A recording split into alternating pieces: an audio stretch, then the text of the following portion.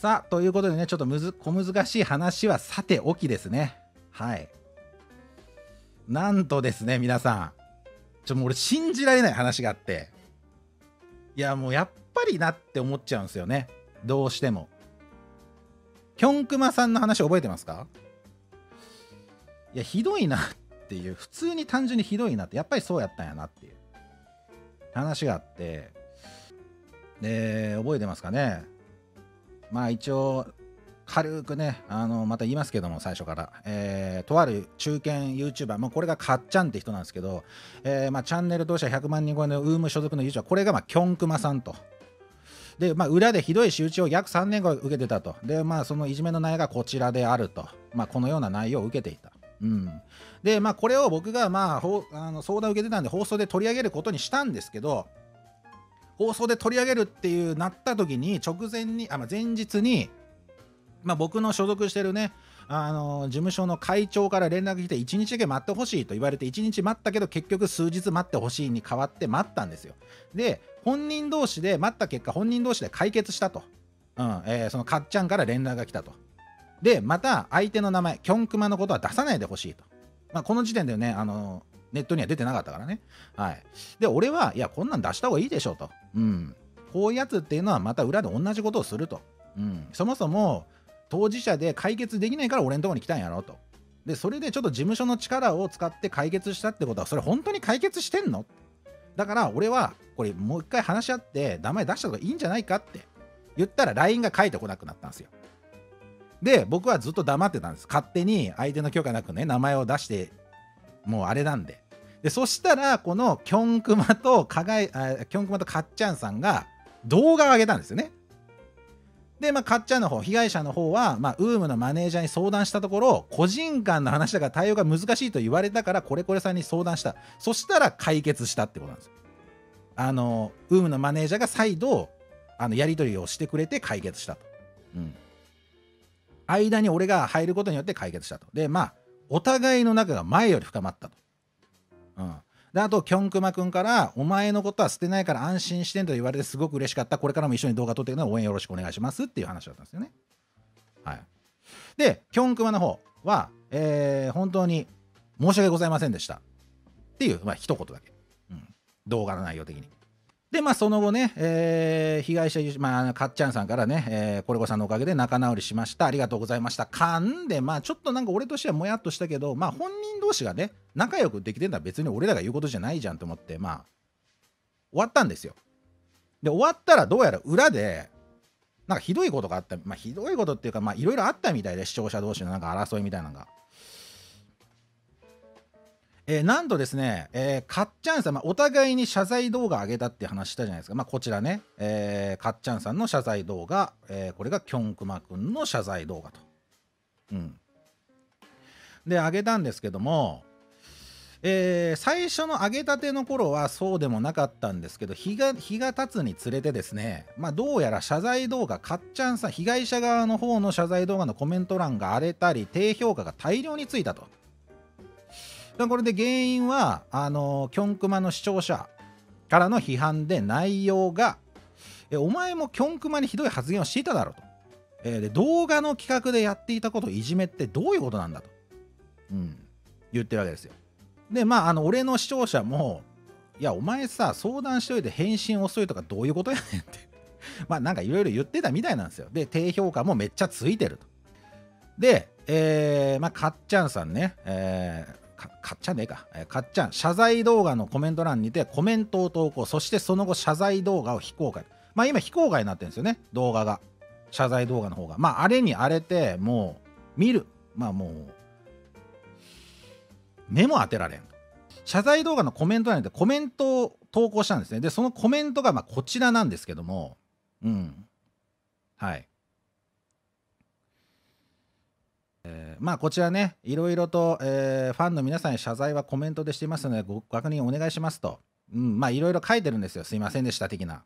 うん。まあなんかコメントを削除とかしたりしてたのかな。で、まあそのコメントも削除することはありませんと。うん。で、そしてこれこれさんに関してと。うんえーしっかりと連絡を取り合っていました放送ではあのようにおっしゃっていましたがおそらくネタを潰されたことに対する僕への仕返しだと思ってますはい。これ。なんかこういうこと言われてんのよ。なんか仕返しだなんだとか言われてんの。ちょっとよく意味がわかんないんだけどね。はい、えーでまあ、ネット上の証拠がないものに関しては視聴者の、えー皆さんには判断が難しい。いろいろモヤモヤしてしまう部分があるとは思いますが僕も発信できる範囲内で説明と謝罪をさせていただきましたと。いう話なんですよ。うん。えーでまあこれでですね。まあ僕が聞いたわけですよね。いやちょちょちょちょちょみんな落ち着け落ち着け落ち着け落ち着けちょちょちょ落ち着いてください。いや別にこれ俺はこれに関して怒ってるわけじゃないからはい別に怒ってないんでそもそも。でまあ本人で聞いたの。まあ多分あの要はなんかネタを潰されてたのよくわかんないんだけど俺普通に放送で言この話してるから別に潰されたとかなんかネタとか別にそそんなことは思ってないんだけど、まあ、とりあえず本人に聞いたら、まあ、このように返ってきたと。まあ、てかちょっと待ってメモ帳に書いたっけ？ああこれだこれこれがこの件について本人に聞くと。うん。でまあなんて返ってきたかっていうと、えー申し訳ございませんと。えーっと放送で誤解を招いてしまう表現があってアンチが増えていて釈明しようとしたんですがこれこそ傷つける表現になってしまって申し訳ございませんでしたと。まあちょっとなんかどうやらですね、まあ今そのかっちゃんさんの精神面が不安定らしくて、まあちょっと自分が今荒らされてるから低評価の嵐とかいろんなアンチコメントされてるから、ちょっとそういう風な、あの、きつい、俺に対してきついコメントをしたと。で、それは、俺はいいんですよ、それは。で、なんでそういうことになったかというと、いじめの内容は全て明かされていないと。まあ、なので、あの要はキョンクマのファンとかから叩かれて僕のチャンネルは低評価の嵐になってると。うん。はいはいはいはい。で、さらに、まあここにね、いろいろ書いてあるのは心理状態も正常ではなく自分のことしか考えられなくない、これこさんには感謝していたんですが、これこさんの気づくような表現でコメントをしてしまい申し訳ございませんでしたと。まあそれはわかるよ、なんとなく。うん。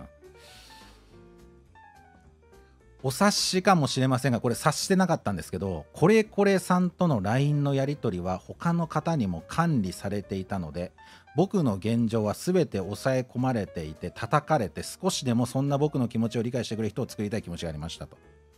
これまあつまりさっき言ったあの俺の返信が遅いのっていうのはこれは他の第三者に LINE のやり取りを管理されていたんだって、まあ、つまりどういうことかっていうといじめの内容を全て明かすことができない LINE のやり取りを他の人に管理されていた。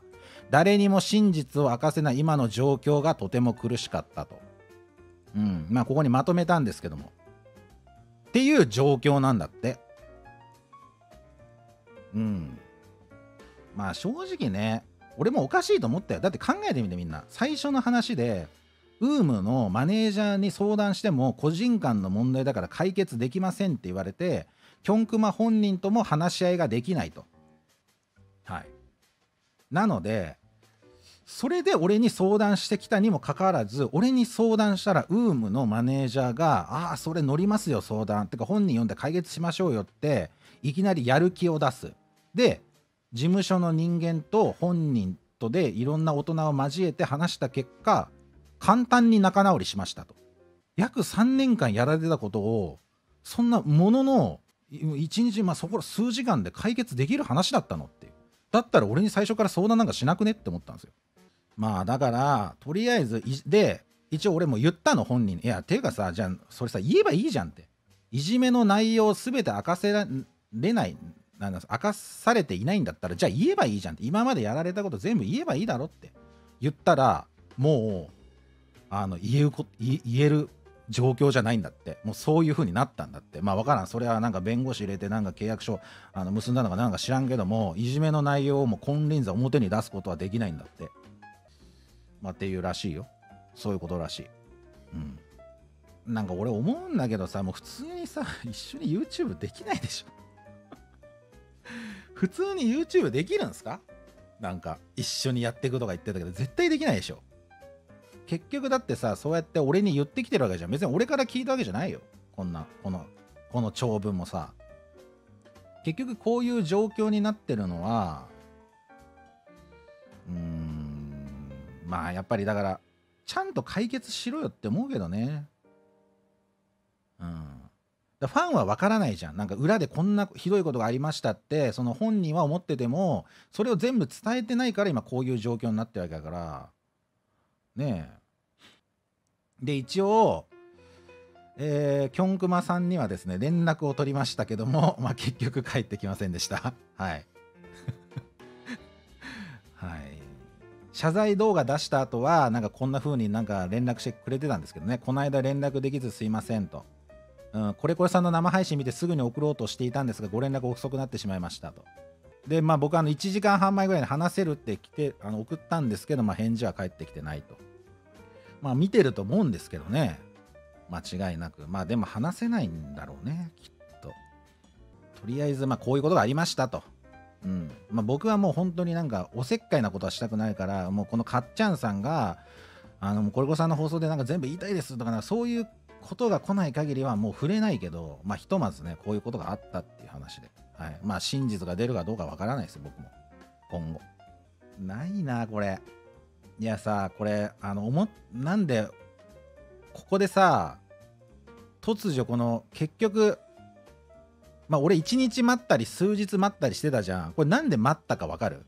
俺普通待たないんですよ普通そもそもがもうその日に言おうと思ってたんですよまあもちろんあのかっちゃんの方から、まあ、待ってくれって言われたのもあったんですけど、まあ、それだけじゃなくね僕にとってすごいいいことをなんか提案してきたんですよ